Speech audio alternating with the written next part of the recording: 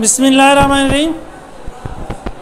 कल हमने characteristics of musical sound पढ़ी थी, हैं। इससे पहले हमने डिफरेंस देखा था नॉइज़ और म्यूज़िकल साउंड का। क्या फ़र्क होता है दोनों में?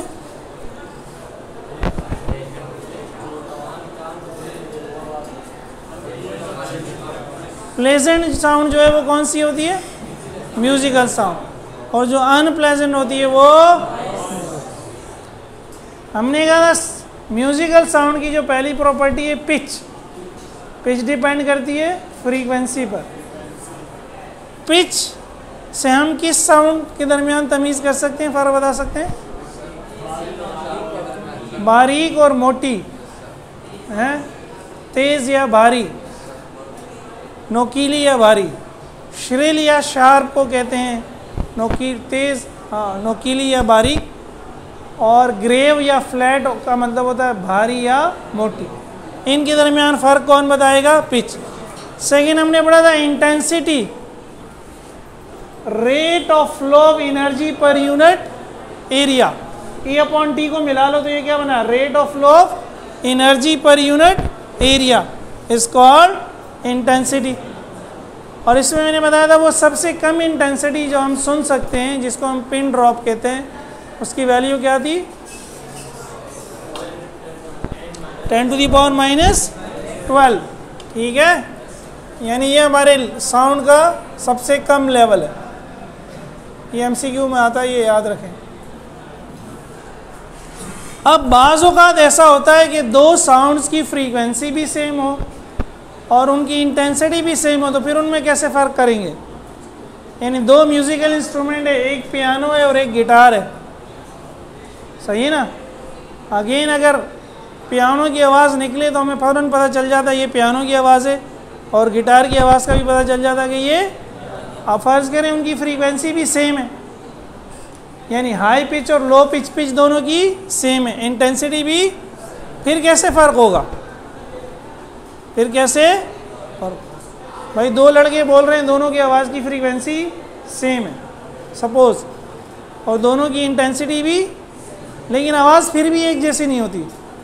आवाज़ फिर भी एक जैसी, इसका मतलब है कोई और चीज़ अलग हो जाती है। वो क्या होती है? नहीं, पिच तो फ्रीक्वेंसी है ना यार फ्रीक्वेंसी सेम है। क्वालिटी या टिम्बर क्या मुराद है क्वालिटी या टिम्बर से? डेफिनेशन देख ले।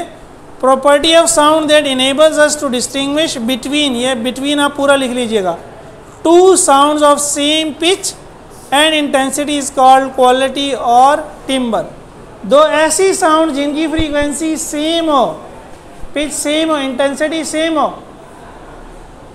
तो भी वो हमें एक जैसी सुनाई नहीं देती। हालाँकि अपने कहा फ्रीक्वेंसी चेंज होगी तो क्या होगा? भारीपन या नोकीलापन चेंज होगा। लेकिन आप कह रहे हैं फ्रीक्वेंसी सेम है तो वो श्रिल है शार्प है या ग्रेव है, वो तो फिक्स हो गया। उसमें फ़र्क इंटेंसिटी सेम है। इंटेंसिटी से क्या होगा भाई? इंटेंसिटी बढ़ गया इंटेंसिटी क्या है? ज़्यादा। एनर्जी ज़्यादा है तो इंटेंसिटी आप कह रहे हैं इंटेंसिटी भी सेम है। जो एनर्जी है वो भी सेम है फ्रीक्वेंसी भी सेम है तो तो आवाज़ें सेम होनी चाहिए। ना लेकिन आवाज़ें सेम नहीं। क्यों नहीं होती? ये अल्लाह मियाँ का एक बंदा है हेल्म होल्ड्स हेल्म पता नहीं ये एल एल क्या पता? साइलेंट हो हेम होल्ड्स होल्ड्स हो। मुझे भी सही याद नहीं है प्रोनाउंसिएशन तो इसने डिस्कवर किया कि ये जो फ़र्क होता है, ये वेव फॉर्म की फ़र्क की वजह से होता है। फ्रीक्वेंसी सेम जितनी वेव्स इस, जितना टाइम ये दो वेव्स ले रही है, उतना टाइम ये भी ले रही हैं। ये समझे इंटेंसिटी है एम्पलीट्यूड जो है। लेकिन देखिए वेव में फ़र्क है। इसकी वेव शेप में और इसकी वेव शेप में। तो वेव में फ़र्क होने से भी आवाज़ में क्या हो जाता है? फ़र्क होता है। इसको क्या कहते हैं? क्वालिटी इसको क्या कहते हैं? क्वालिटी ठीक है? ख़ास कर जब आप सब दोस्त जो कब आपके करीब होते हैं, उनकी आवाज़ आप दूर से भी पहचान लेते हैं। तो किस वजह से पहचानते हैं? क्वालिटी भले सब एक ही इंटेंसिटी प्रोड्यूस कर रहे हैं, लेकिन आवाज़ फिर भी क्या होती है? अलग होती है। आवाज़ क्या होती है? अलग होती है। फ़ोन पे आप आवाज़ पहचान लेते हैं, इस दोस्त की जिसके साथ आप रोज़ मिलते हैं। जिसके साथ एक दफ़ा मिलते हैं, उसकी तो शायद नहीं पहचान पाते। एक दफ़ा हेलो आई भी उसने आपको फ़ोन किया तो शायद उसकी ना पहचान पाए, लेकिन जो रोज़ कान खाता रहता है बैठ के, वो हेलो कहेगा, फ़ौरनी आवाज़ क्या करेंगे आप? पहचान लेंगे ना। तो ये हम किस वजह से पहचानते हैं? क्वालिटी उनकी वेव फॉर्म क्या होती है? क्या होती है वेव फॉर्म चेंज होती है, अलग होती है। ठीक है। अगली प्रॉपर्टी है loudness loudness magnitude of auditory sensation produce by sound is called loudness ये जो समाज का एहसास है, इसका मैग्नीट्यूड जो है, कितनी एहसास पैदा हो रहा है हमारे कान में, वो क्या कहलाता है? लाउडनेस हम कहते हैं यार ऊँची आवाज़ में बात नहीं करो यार। थोड़ी हल्की तो वो ऊँची का क्या मतलब है? उसकी लाउडनेस ज़्यादा है। हल्की का क्या मतलब है? उसकी लाउडनेस कम है। लेकिन देखिए, मसला क्या है? It depends upon human ear मसला ये कि ये इंसानी कान पे एक बंदा कह रहा है, यार, मुझे कल जो है दस बजे मिलो। सर कह रहा है, क्या? क्या कहा? समझ रहे हो? मुझे कल दस बजे मिलना। ये कह रहे हो, भाई, क्यों कान फाड़ रहे हो यार? वो कह रहे, क्या? तो ये क्या मसला है? ये मसला इसलिए है कि अभी, माशाल्लाह, आप मुझ समेत जवान हैं। हैं कि नहीं है? मैं भी जवान हूँ ना? तो जब आप नॉर्मली इस एज में होते हैं, जवानी, नौजवानी में होते हैं तो सारे ऑर्गन्स सारे आज़ाद जो हैं, वो ठीक काम कर रहे होते जैसे जैसे साल गिरते हैं, वो साल गिरा, क्या मतलब है? साल गिरा। साल कम हो गया। जैसे जैसे साल गिरते हैं ऑर्गन्स जो है वो एक वक्त ये भी आ जाता है। तो उस वक्त फिर जो है, कोई चीखता भी है तो आवाज़ सुनाई नहीं देती। तो एयर डिपेंड डिपेंड करता। एक एयर के लिए जो आवाज़ बुलंद है, वही दूसरे ईयर के लिए बुलंद नहीं है।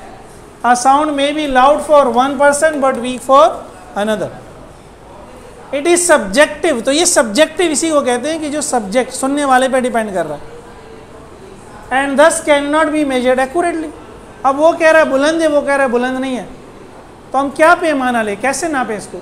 इसके कान को पकड़ के नापे, उसके कान को पकड़ के नापे? इसके कान से लेवल कुछ हो रहेगा उसके कान से कुछ? तो ये pure physical quantity physical quantity definition क्या थी जिसको हम मेजर कर सके ना? इस पेन की लंबाई अगर मैं आप सबसे को मेजर करें तो आप सब मेजर कर लेंगे। और सिवाय पॉइंट में फ़र्क होगा ना, कोई कहेगा टेन पॉइंट थ्री है, कोई कहेगा टेन पॉइंट फोर है, लेकिन टेन पे सारे क्या होंगे? एग्री होंगे।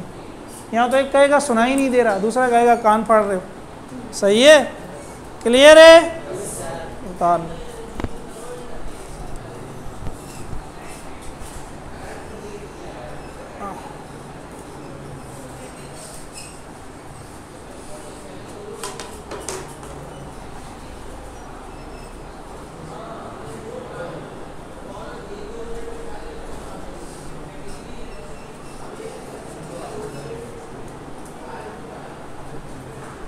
सर लास्ट जो कैरेक्टरिस्टिक्स है इंटेंसिटी लेवल या इसका दूसरा नाम साउंड लेवल भी है तो ये एक लॉ से निकलता है, जिसको कहते हैं वेबर फैचर लॉ ये स्पेलिंग में एन भी है, लेकिन एन साइलेंट है, ठीक है? वेबर फैचर लॉ क्या कहता है कि जो एल है लाउडनेस डायरेक्टली प्रोपोर्शनल होगा लोगारिथम ऑफ़ इंटेंसिटी के। सही है? L is directly proportional to logarithm of intensity experiment से इसने ये लॉ निकाला। अब जब हम प्रोपोर्शनलिटी हटाते हैं तो इक्वल लगाते हैं और कांस्टेंट कांस्टेंट को यह क्या नाम दिया? के तो ये तो एल का फॉर्मूला आ गया समझ। अब हम कान की बात नहीं कर रहे, बस वैसे कोई भी साउंड है, उसकी इंटेंसिटी से उसकी हमने लाउडनेस निकाल ली। तो इंटेंसिटी लेवल क्या होता है? Difference of loudness is called intensity level denoted by beta ठीक है? बीटा इसका तो बीटा क्या होगा? L minus L nought L minus difference का ये मतलब होता है ना, एक में से दूसरे को क्या कर दो? माइनस एल क्या है? एल तो यही है। K log of I L nought क्या है? के लॉग ऑफ़ आई नॉट ये आई नॉट क्या है? वही ten to the power minus twelve watt per metre square यानी सबसे लोअर लेवल हमने ले लिया और बड़े लेवल की साउंड में से छोटे लेवल की साउंड को माइनस करेंगे तो ये क्या निकलेगा? इंटेंसिटी लेवल अब देखिए के कॉमन आ गया। अंदर क्या बचा? Log of I minus log of I nought ये मैट्रिक में आपका लोगार्थम बड़ी डिटेल में वहाँ लोगार्थम का फॉर्मूला है कि log of A minus log of B बराबर होगा log of A upon B तो यहाँ ए की जगह आई है बी की जगह आई नॉट है। तो ये क्या हो गया? Log of I upon I nought ठीक है? तो ये फॉर्मूला आ गया इंटेंसिटी लेवल का। अब हमने इसकी यूनिट डिफाइन करनी है। बेल यूनिट ऑफ़ बीटा यानी इंटेंसिटी लेवल अगर इस इंटेंसिटी लेवल को आप बेल में डिफाइन करें करें तो ये कांस्टेंट वन हो जाता है। ये कांस्टेंट क्या हो जाता है? जब कांस्टेंट वन हो गया तो फॉर्मूला क्या बन गया? लॉग ऑफ़ आई अपॉन तो मैंने लिखा है बीटा इन बेल बेल की यूनिट में क्या हो गया? लॉग ऑफ़ आई अपॉन अब एक चीज़ नोट करें, ये जो स्केल है, ये एक मीटर है और यही सौ सेंटीमीटर भी है। यही सौ सेंटीमीटर है। तो फ़र्क क्यों है? क्योंकि यूनिट में फ़र्क है। मीटर के लिए ये एक है पूरा। सेंटीमीटर के लिए क्या? इसके सौ बराबर बराबर हिस्से किए हैं। वो एक हिस्सा क्या है? एक सेंटीमीटर सौ मिलेंगे तो क्या बनेगा? एक मीटर तो एक मीटर में के सौ हिस्से किए तो एक हिस्से को कहा सेंटीमीटर इसलिए एक मीटर में सौ सेंटी अब मैं इसके सौ हिस्से ना करूँ, दस हिस्से कर दूँ। क्या कर दूँ? उसको कहते हैं डेसीमीटर उसको क्या कहते हैं? तो एक मीटर में दस डेसीमीटर होते हैं। केमिस्ट्री में आप पढ़ते हैं डीएम क्यूब सही है? तो इसी तरह एक बेल में दस डेसीबेल होंगे। एक बेल में दस। तो अगर मैंने इंटेंसिटी लेवल को डेसीबेल में नापना है, ये तो बेल में तो इसको क्या किया? दस से मल्टीप्लाई कर ऐसा क्यों करते हैं? क्योंकि बेल बड़ी यूनिट होती है। जैसे मीटर बड़ी यूनिट है इस पेन की लंबाई नापने के लिए। क्या यूनिट यूज़ करनी चाहिए मुझे? सेंटीमीटर सही है? इसी तरह बाज़ अवत बेल बहुत बड़ी यूनिट होती है। साउंड की इंटेंसिटी लेवल को मेजर करने के लिए हमें छोटी यूनिट चाहिए थी तो छोटी यूनिट कौन सी है? डेसिबल समझ आ गया? अब ये उतार लें। अब इनसे कुछ वैल्यूज़ निकलेंगी, वो याद रख लें। कैसे निकलेंगी? एम बनते हैं उसमें देखिए, इधर एक मिनट देखिए देखिए देखिए। ये मैंने तीन कॉलम बनाए हैं। लेफ़्ट कॉलम में इंटेंसिटी लिए, यानी ये आई की वैल्यू है। सही है? ये आई की वैल्यू मैंने इस फॉर्मूले में रखनी है तो बीटा बेल में निकलेगा log of I upon I nought सबसे पहले मैंने कहा, फ़र्ज़ किया आई आई नॉट के बराबर है। आई क्या है? आई नॉट क्या था टेन दी पावर ये तो मैंने आपको समझाने के लिए लिख रहा हूँ। आई नॉट का मतलब है ten the power minus twelve तो मैंने फॉर्मूले में आई की जगह क्या रख दिया? आई नॉट आई नॉट से आई नॉट कैंसिल तो लॉग ऑफ़ वन आप कैलकुलेटर से निकालें ज़ीरो आ जाएगा। ठीक है? एक मिनट सुने अभी, सुन लो भाई, सुन लो यार। ये बोर्ड नहीं भाग रहा कहीं। अगर मैंने डेसिबल में कन्वर्ट करना है तो देखिए, यही चीज़ टेन से मल्टीप्लाई हो रही है। Log ten multiply by log of I log of I upon I nought zero आया। तो इसको मैंने टेन से क्या कर दिया? इसका आंसर ज़ीरो आया। टेन से मल्टीप्लाई कर दिया तो डेसिबल में निकल आएगा। अब ज़ीरो है तो, तो ज़ीरो ही हो गया। ठीक है? भाई ये ten log of I upon I nought ये log of I upon I nought ही निकल रहा है ना? अगर इसको निकालना है तो टेन मल्टीप्लाई बाय इसकी वैल्यू तो ये इसकी वैल्यू निकली है। इसको मैं मल्टीप्लाई करता गया। अब मैंने किया आई की वैल्यू टेन आई नॉट है। आई की वैल्यू क्या है? तो एक्चुअल में होगा क्या? Ten multiply by I nought minus twelve ये क्या हो जाएगा? माइनस इलेवन लेकिन जब मैं यहाँ रखूँगा आई की जगह टेन आई नॉट तो again I nought I nought log of ten क्या होगा? वन लॉग टेन की पावर होता है। टेन की पावर इस वक्त क्या है? वन वन क्या है? टेन की पावर ज़ीरो है बेसिकली खैर. तो again log of I upon I nought आया वन और इसको टेन से मल्टीप्लाई कर दिया तो ये क्या हो गया? टेन डेसी यानी जब आप सॉल्व करोगे तो इसका आंसर क्या आएगा? वन जो ये निकाल चुके हम इसको टेन से मल्टीप्लाई कर दिया तो ये टेन डेसीबेल हो गया। इस तरह हंड्रेड किया तो टेन की पावर टू हो जाएगा। थाउज़ेंड किया तो टेन की पावर थ्री हो जाएगा। आंसर थ्री आएगा टेन की पावर टेन की पावर फाइव ले लूँ, पाँच ज़ीरो लगा दूँ तो यहाँ पाँच आ जाएगा। नौ ज़ीरो लगा दूँ तो यहाँ बारह ज़ीरो लगा दूँ तो यहाँ और ये बारह ज़ीरो लगाऊँगा तो वो वन वॉट बनेगा। जो हमने कहा था पेन के बगैर हम सुन सकते। Ten to the power twelve I nought तो ten to the power twelve multiply by ten to the power minus twelve minus twelve plus twelve क्या हो गया? Zero ten to the power zero क्या होगा? वन ये कौन सी sound थी? Maximum sound that can be heard without pain pain के बगैर जो हम साउंड सुन सकते हैं। तो बेल में उसकी वैल्यू क्या है? बारह। डेसीबल में उसकी वैल्यू क्या है? 120 वॉट में क्या है? One watt per meter square. फिर ये पढ़ा था ना? शरगोशी विस्पर। विस्पर विस्पर बेल में क्या है? नाइन। नहीं सॉरी। इधर आ जाओ। ये ये तो मैक्सिमम वैल्यू होगी। फिर हमने यहाँ से देखना शुरू किया था। वो कम से कम साउंड जो हम सीन सकते हैं पिन ड्रॉप। क्या? पिन तो पिन ड्रॉप ज़ीरो हो गया। इसीलिए इसको आई नॉट का इसलिए इसको कि ये हमारे साउंड का सबसे कम लेवल है। बेल में भी ज़ीरो डेसिबल में भी। फिर हमने कहा था विस्पर करें, सरगोशी करें। वो ये वाला है ten the power minus nine वाला। ये तो मैंने बीच में आपको एग्ज़ाम्पल दिए कि टेन आई नोट करोगे तो वन आएगा हंड्रेड आई नोट करोगे तो टू आएगा।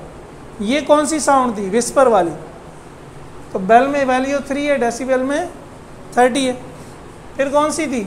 लो साउंड विदाउट विस्पर आम जो बातचीत करते हैं, करीब बैठ के सरगोशी के बगैर। फाइव तो ये फिफ्टी हो जाएगा ना, मैंने फोर्टी क्यों कर दिया? ठीक है? उसके बाद क्या था? कन्वर्सेशन जो हम करते हैं, गप्पे जो मारते हैं, तीन चार दोस्त बैठ के। ये नाइन है, ये नाइन्टी है। ठीक है? आर यार, ये एम सी क्यू आता है। फॉर्मूला याद होगा। अगर बेल में निकालना है तो यहाँ टेन नहीं है। डेसीबेल में निकालना है तो यहाँ टेन वो आपको कहेगा कि आई की वैल्यू फ़र्ज़ करें थाउज़ेंड आई नॉट है।